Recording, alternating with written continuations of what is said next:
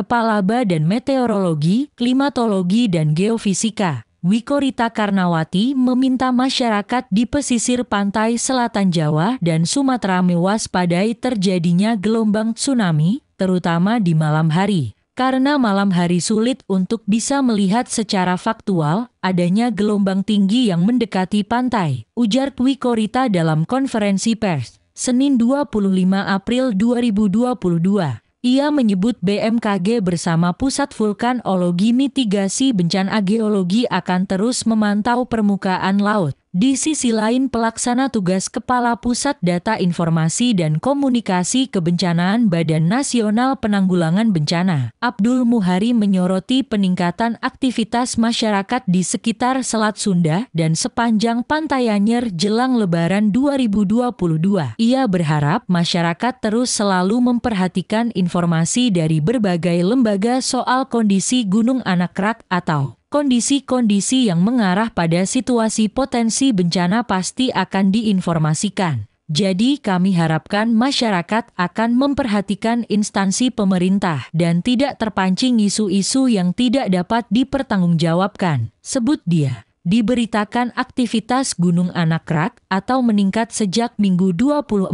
April 2022 pukul 18.00 WIB. Kepala Badan Geologi Eko Budi menyampaikan adanya perubahan erupsi gunung api tersebut. Semula erupsinya didominasi abu, lalu berubah menjadi tipe strombolian yang menghasilkan berbagai lontaran lava pijar. Lontaran lava pijar itu lantas mengalir dan masuk laut pada Sabtu 23 April 2022.